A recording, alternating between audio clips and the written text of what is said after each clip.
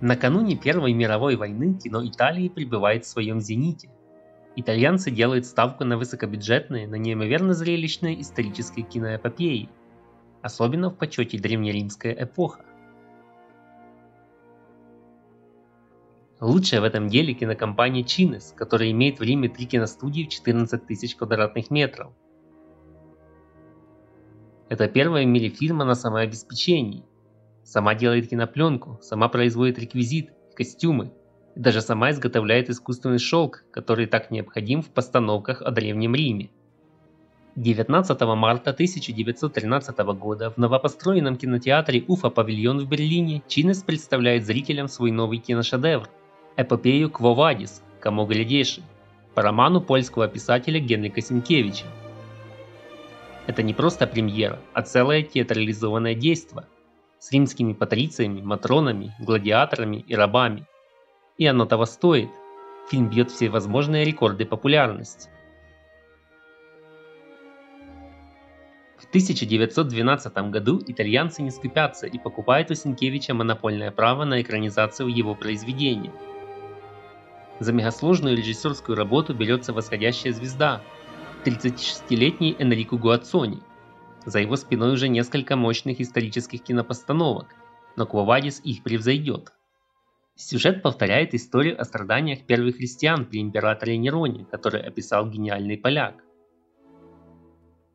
Молодой патриций Марк Вениций влюбляется в юную христианку Лигию, Благодаря своему другу Петронию, близкому к императору, он уводит девушку из дома приемных родителей. Но верный раб Лигии Урс вместе с друзьями по дороге отбивает ее и прячет. Разыскав Лигию в христианской общине Рима, Вениций поражен проповедью нового учения, которую ведет апостол Петр. Тот благословляет любовь двух молодых людей, а Вениций принимает крещение – Тем временем сумасбродный Нерон, уверенный в своем поэтическом даре, ради вдохновения поджигает Рим.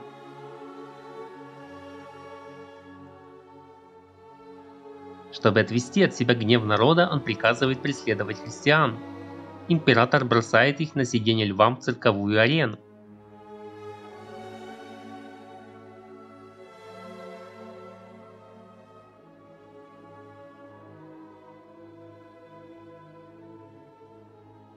Лигию, привязанную к разъяренному быку, тоже выводят на потеху толпе.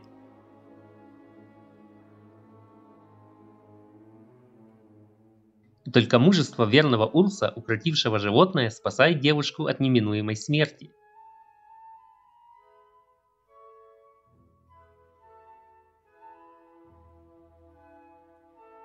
Петр, убегая от преследований, оставляет Рим, но встречает на Апиевой дороге самого Христа – это заставляет апостола вернуться к своей пастве.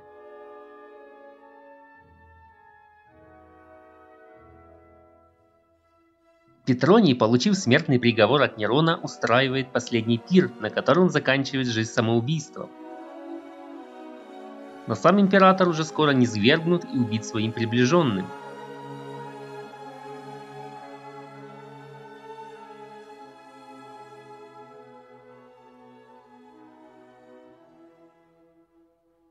Вениций и Лигия воссоединяются в счастливой жизни.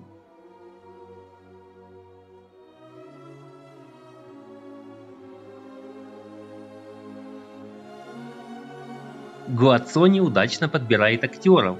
Вениций – Омлета Новелли.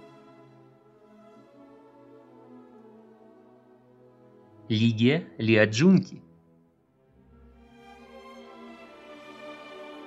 Петрони – Густаво Сирена. Нерон Карло Катанео. В эпизодической на важной роли апостола Петра Джованни Джизи.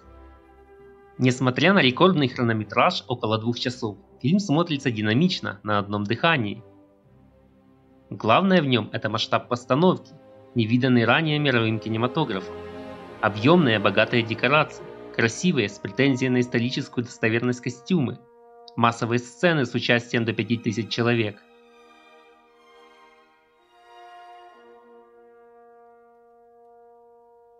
Особенно впечатляет сцена игр в амфитеатре, где соревнуются колесницы, идут гладиаторские бои. христиане встречают свою мученическую смерть. Ради этого зрители прощают даже легкие недочеты. Например, разные масти быка, вначале выпущенного на арену, а потом укращенного Урсом. Весь этот грандиозный кинопроект стоит Чинес около 60 тысяч лир – но прокат Квовадис покрывает траты с лихвой. Соединенным Штатам его продают за 150 тысяч долларов. Великобритании за 8 тысяч фунтов. Германии за 200 тысяч марок. Во Франции фильм показывают в самом крупном кинотеатре страны – Гамон Палас. Композитор Жан Ноге специально пишет под премьеру музыку и хорал – который исполняет 150 певцов. В лондонском Альберт-Холле на премьере присутствует 20 тысяч зрителей, в том числе король Георг V и королева Мария. Потрясенный увиденным, монарх лично поздравляет актера Брута Кастелани, сыгравшего в фильме «Храброго раба Урса».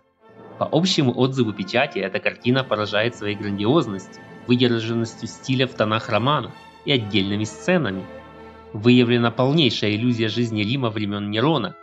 Захлебывается от восторга пресса. Квовадис – это первый кинобестселлер в истории. До начала Первой мировой войны он идет на киноэкранах с неизменным успехом. Конкуренты Чинес хотят его перещеголять, и в том же году зрители созерцают грандиозную картину «Последние дни Помпеи» студии Амбросио Фильм. Но Гуацони не сдается и ставит исторический фильм Антоний и Клеопатра, где Амлета Новелли играет римского полководца Марка Антония. Так, с подачи итальянцев 1913 год в мировом кинематографе проходит под знаком Древнего Рима. Великие события древности оживают на экране и становятся частью прекрасной эпохи.